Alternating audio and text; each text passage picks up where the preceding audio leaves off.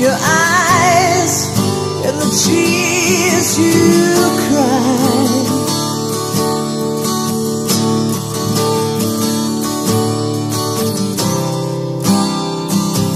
You need a man, a man to stand by your